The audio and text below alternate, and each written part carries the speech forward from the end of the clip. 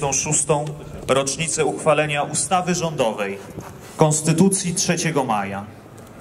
Drugiego tak ogromnej wagi społecznej dokumentu po Konstytucji Stanów Zjednoczonych Ameryki Północnej, a pierwszego w Europie.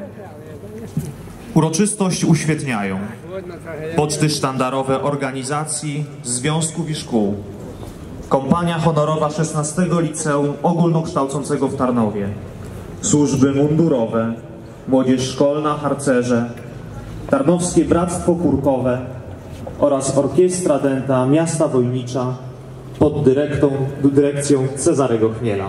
Patrz,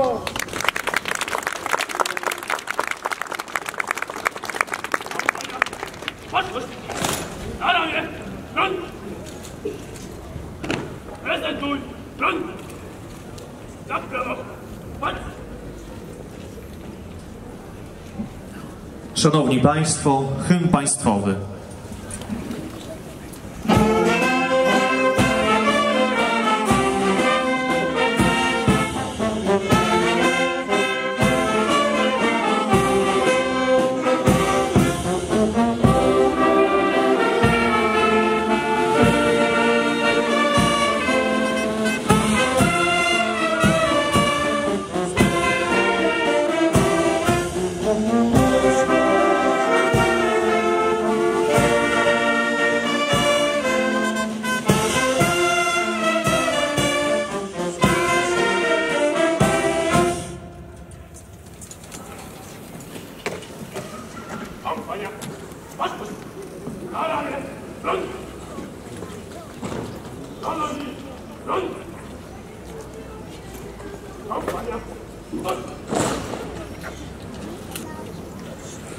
Proszę pana Tomasza Wiśniewskiego o odczytanie fragmentów Konstytucji 3 maja.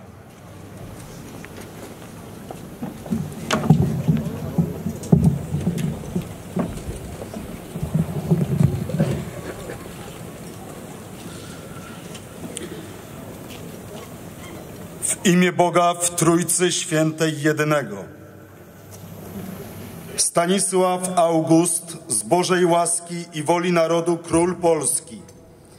Wielki książę litewski, ruski, pruski, mazowiecki, żmudzki, kijowski, wołyński, podolski, podlaski, inflancki, smoleński, siewierski i czernichowski wraz z Stanami skonfederowanymi w liczbie podwójnej naród polski reprezentującymi.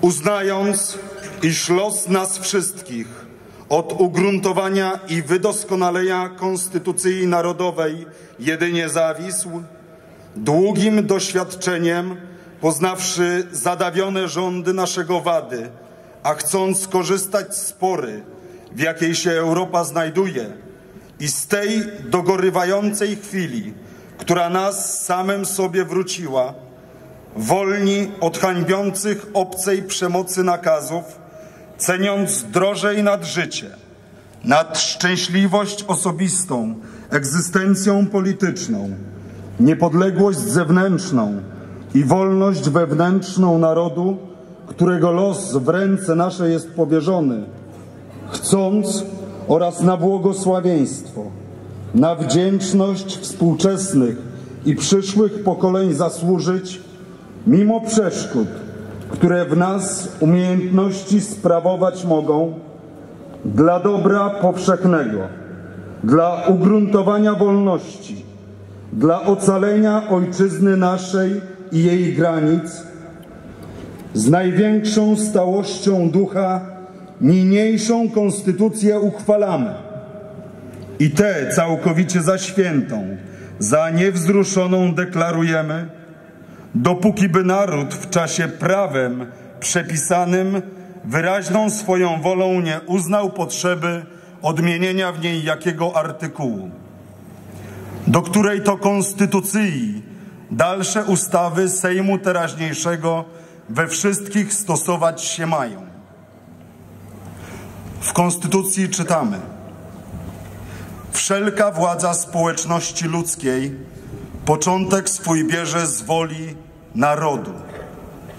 Aby więc całość państw wolność obywatelska i porządek społeczności w równej wadze na zawsze zostały, trzy władze rząd narodu polskiego składać powinny i z woli prawa niniejszego na zawsze składać będą. To jest władza prawodawcza w Stanach Zgromadzonych, władza najwyższa, wykonawcza w królu i straży i władza sądownicza w jurysdykcjach na ten koniec ustanowionych lub ustanowić się mających.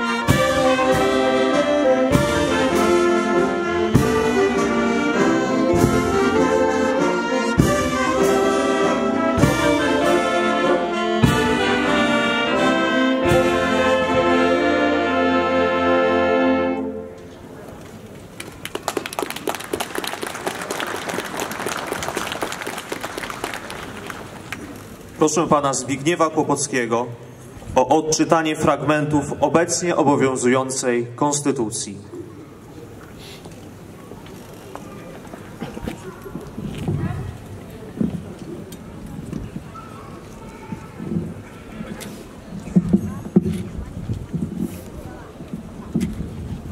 Konstytucja Rzeczypospolitej Polskiej z dnia 2 kwietnia 1997 roku.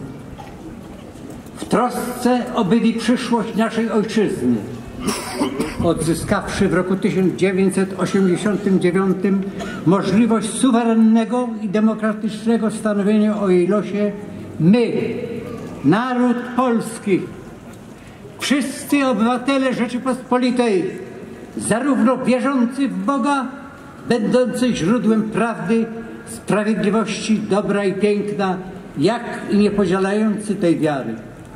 A te uniwersalne wartości wywodzące z innych źródeł równi w prawach i w powinnościach wobec dobra wspólnego Polski. Wdzięczni naszym przodkom za ich pracę, za walkę o niepodległość okupioną ogromnymi ofiarami, za kulturę zakorzenioną w chrześcijańskim dziedzictwie narodu i ogólnoludzkich wartościach. Nawiązując do najlepszych przyszłości pokoleń wszystkiego ocenny z ponad tysiącletniego dorobku, złączeni więzami wspólnoty z naszymi rodakami rozsianymi po świecie, świadomi potrzeb współpracy ze wszystkimi krajami dla dobra rodziny ludzkiej. Pomni gorzkich doświadczeń z czasów, gdy podstawowe wolności i prawa człowieka były w naszej ojczyźnie łamane. Pragnąc na zawsze zagwarantować prawa obywatelskie, a działaniu instytucji publicznych zapewnić rzetelność i sprawność. Poczuciu odpowiedzialności przed Bogiem lub przed własnym sumieniem ustanawiamy Konstytucję Rzeczypospolitej Polskiej jako prawo podstawowe dla państwa oparte na poszanowaniu wolności i sprawiedliwości, współdziałaniu władz, dialogu społecznym oraz na zasadzie pomocności i umacniającej uprawnienia obywateli i ich wspólnot. Wszystkich, którzy dla dobra III Rzeczypospolitej tę konstytucję będą stosowali, wzywamy, aby czynili to dbając o zachowanie przyrodzonej godności człowieka, jego prawa do wolności i obowiązku, solidarności z innymi. O poszanowanie tych zasad mieli za niewzruszoną podstawę Rzeczypospolitej Polskiej. W artykułach Konstytucji czytamy organy władzy publicznej działające na podstawie i w granicach prawa. Konstytucja jest najwyższym prawem Rzeczypospolitej Polskiej. Przepisy Konstytucji stosuje się bezpośrednio, chyba że Konstytucja stanowi inaczej. Rzeczpospolita Polska przestrzega wiążącego jej prawa międzynarodowego. Ustrój Rzeczypospolitej Polskiej opiera się na podziale i równowadze władzy ustawodawczej, władzy wykonawczej i władzy sądowniczej. Władzę ustawodawczą sprawuje Sejm i Senat.